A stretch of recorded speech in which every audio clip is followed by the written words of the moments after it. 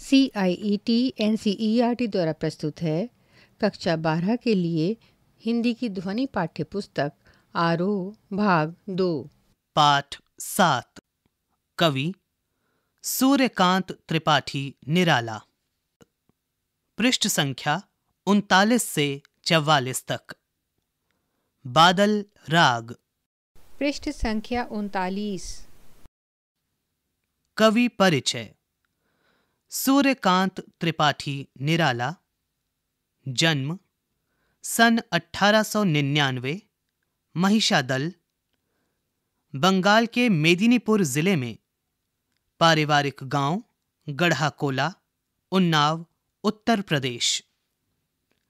प्रमुख रचनाएँ, अनामिका, परिमल, गीतिका, बेला, नए पत्ते अणिमा, तुलसीदास, कुकुरमुत्ता, जो कविता संग्रह हैं। चतुरी चमार, प्रभावती, बिल्लेसुर बकरीहा, चोटी की पकड़, काले कारनामे, जो गद्य हैं। आठ खंडों में निराला रचनावली प्रकाशित। समन्वय मतवाला पत्रिका का संपादन। निधन। सन 1961 इलाहाबाद में। नव गति नव लय ताल छंद नव। नवल कंठ नव जलद मंद रव। नव नभ के नव विहग वृंद को। नव पर नव स्वर दे। कविता को नया स्वर देने वाले निराला छायावाद के ऐसे कवि हैं। जो एक ओर कबीर की परंपरा से जुड़ते हैं तो दूसरी ओर समकालीन कवियों के प्रेरणा स्रोत भी हैं। उनका यह विस्तृत काव्य संसार, अपने भीतर संघर्ष और जीवन, क्रांति और निर्माण, ओज और माधुर्य, आशा और निराशा के द्वंद्व को कुछ इस तरह समेटे हुए है कि वह किसी सीमा में बंध नहीं पाता। उनका यह निर्बंध और उदात काव्य व्यक्तित्व कविता और जीवन में फांक नहीं रखता। वे आपस में घुले मिले हैं। उल्लास, शोक, राग विराग, उत्थान, पतन, अंधकार, प्रकाश का सजीव कोलाज है उनकी कविता। जब वे मुक्त छंद की बात करते हैं तो केवल छंद रूढ़ियों आदि के बंधन को ही नहीं तोड़ते। बल्कि काव्य विषय और युग की सीमाओं को भी अतिक्रमित करते हैं। विषयों और भावों की तरह भाषा की दृष्टि से भी निराला की कविता के कई रंग हैं। एक तरफ़ तत्सम सामासिक पदावली और ध्वन्यात्मक बिंबों से युक्त राम की शक्ति पूजा और कठिन छंद साधना का प्रतिमान तुलसीदास है तो दूसरी तरफ़ देशी तट के शब्दों का सौंधापन लिए कुकुरमुत्ता, रानी और कानी, महंगू महँगा रहा जैसी कविताएँ हैं। धिक जीवन जो, पाता ही आया विरोध, कहने वाले निराला, उत्कट आत्मशक्ति और अद्भुत जिजीविशा के कवि हैं, जो हार नहीं मानते और निराशा के क्षणों में शक्ति की मौलिक कल्पना कर शक्ति का साधन जुटाते हैं। पृष्ठ संख्या चालीस। कविता परिचय। इसीलिए इस शक्ति साध्य कवि निराला को वर्षा ऋतु अधिक आकृष्ट करती है, क्योंकि बादल के भीतर सृजन और ध्वंस की ताकत एक साथ समाहित है। बादल उन्हें प्रिय है, क्योंकि स्वयं उनका व्यक्तित्व बादल के स्वभाव के करीब है। बादल किसान के लिए उल्लास एवं निर्माण का तो मजदूर के संदर्भ में क्रांति एवं बदलाव का अग्रदूत है। बादल राग कविता अनामिका में छह खंडों में प्रकाशित है। यहाँ उसका छठा खंड लिया गया है। लघु मानव यानी आम आदमी के दुख से त्रस्त कवि यहाँ बादल का आह्वान क्रांति के रूप में कर रहा है, क्योंकि विप्लव रव से छोटे ही हैं शोभा पाते। किसान मजदूर की आकांक्षाएँ बादल को नव निर्माण के राग के रूप में पुकार रही हैं। क्रांति हमेशा वंचितों का प्रतिनिधित्व करती है। इस अर्थ में भी छोटे को देखा जा सकता है। अट्टालिका नहीं है रे, में भी वंचितों की पक्षधरता की अनुगूंज स्पष्ट है। बादलों के अंग अंग में बिजलियाँ सोई हैं। वज्रपात से उनके शरीर आहत भी हों तो भी हिम्मत नहीं हारते बार बार गिरकर उठते हैं। गगन स्पर्शी स्पर्धाधीर, ये बादल दरअसल वीरों का एक प्रमत्त दल दिखाई देते हैं। चूँकि ये विप्लव के बादल हैं, इसलिए गर्जन तर्जन अमोघ हैं। गर्मी से तपी झुलसी धरती पर क्रांति के संदेश की तरह बादल आए हैं। हर तरफ़ सब कुछ रूखा सूखा और मुरझाया सा है।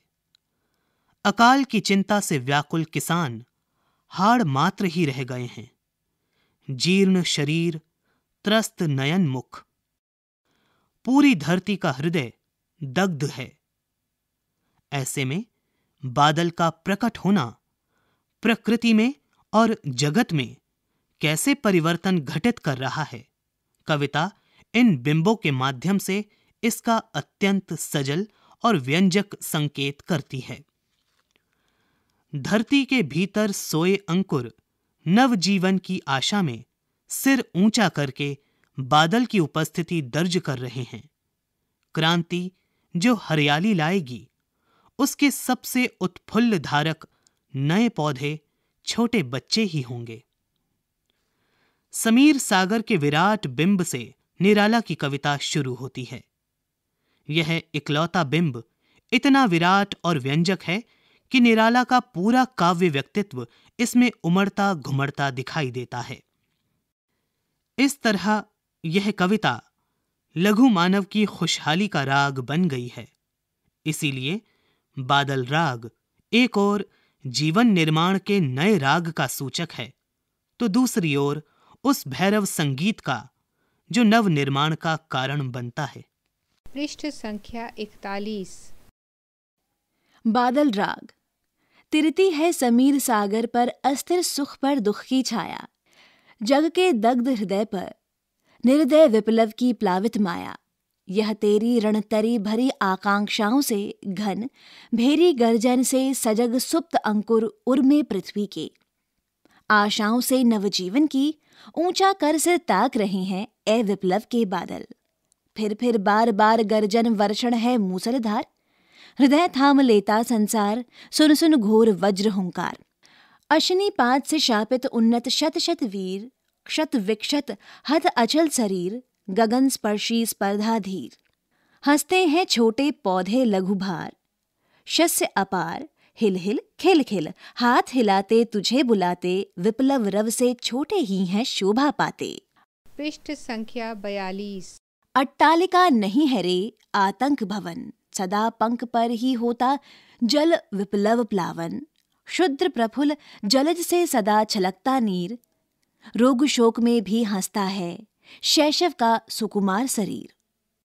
रुद्ध कोश है शुद्ध तोष, अंगना अंग से लिपटे भी आतंक अंक पर काँप रहे हैं। धनी वज्र गर्जन से बादल त्रस्त नयन मुख ढांप रहे हैं।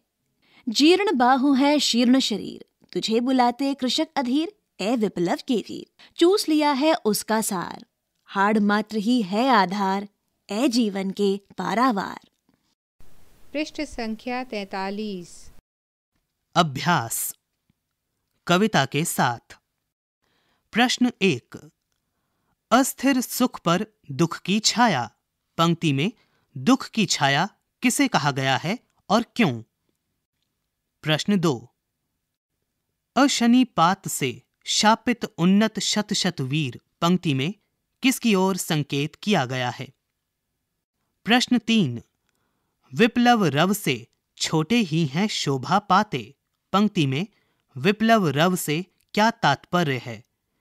छोटे ही हैं शोभा पाते, ऐसा क्यों कहा गया है? प्रश्न चार।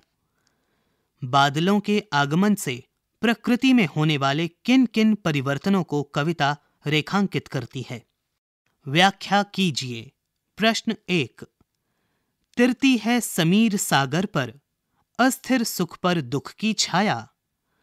जग के दग्ध हृदय पर, निर्दय विप्लव की प्लावित माया। प्रश्न दो। अट्टालिका नहीं है रे आतंक भवन। सदा पंख पर ही होता जल विप्लव प्लावन। कला की बात। प्रश्न एक। पूरी कविता में प्रकृति का मानवीकरण किया गया है। आपको प्रकृति का कौन सा मानवीय रूप पसंद आया और क्यों? प्रश्न दो। कविता में रूपक अलंकार का प्रयोग कहाँ कहाँ हुआ है? संबंधित वाक्यांश को छांट कर लिखिए। प्रश्न तीन। इस कविता में बादल के लिए ए विप्लव के वीर ए जीवन के पारावार जैसे संबोधनों का इस्तेमाल किया गया है। बादल राग कविता के शेष पाँच खंडों में भी कई संबोधनों का इस्तेमाल किया गया है। जैसे, अरे वर्ष के हर्ष, मेरे पागल बादल ए निर्बंध ए स्वच्छंद ए उद्दाम ए सम्राट, ए विप्लव के प्लावन, ए अनंत के चंचल शिशु सुकुमार। इन संबोधनों की व्याख्या करें तथा बताएँ कि बादल के लिए इन संबोधनों का क्या औचित्य है। प्रश्न चार, कवि बादलों को किस रूप में देखता है? कालिदास ने मेघदूत काव्य में मेघों को दूत के रूप में देखा। आप अपना कोई काल्पनिक बिंब दीजिए। प्रश्न पाँच। कविता को प्रभावी बनाने के लिए कवि विशेषणों का सायास प्रयोग करता है, जैसे अस्थिर सुख। सुख के साथ अस्थिर विशेषण के प्रयोग ने सुख के अर्थ में विशेष प्रभाव पैदा कर दिया है। ऐसे अन्य विशेषणों को कविता से छांट कर लिखें तथा बताएँ कि ऐसे शब्द पदों के प्रयोग से कविता के अर्थ में क्या विशेष प्रभाव पैदा हुआ है? पृष्ठ संख्या चवालीस। शब्द छवि। रुद्ध। रुका हुआ। क्षुब्ध। यानी अशांत क्रुद्ध खिन्न दुखी। अंक। यानी हृदय। शीर्ण। यानी क्षीण। कृषक। यानी किसान। विप्लव। यानी क्रांति। बाढ़। दग्ध। यानी तप्त। तपा हुआ। रणतरी। यानी युद्ध की नौका। प्लावित। यानी बहा दिया गया। भेरी गर्जन। यानी बड़ा ढोल। सुप्त। यानी सोया हुआ। अशनिपात। यानी वज्रपात। क्षत विक्षत। यानी लहूलुहान बुरी तरह से घायल। हत। यानी घायल मारा हुआ। शस्य। यानी हरा। इसी के साथ आरोह भाग दो का पाठ। सात। यहाँ समाप्त हुआ। प्रस्तुति C I E T N C E R T Nai Delhi, Bharat.